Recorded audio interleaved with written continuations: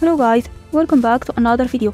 In this video I will compare Movie Shadow vs Shadow vs Super Shadow vs all bosses Dr. Eggman and Zazz. So let's go.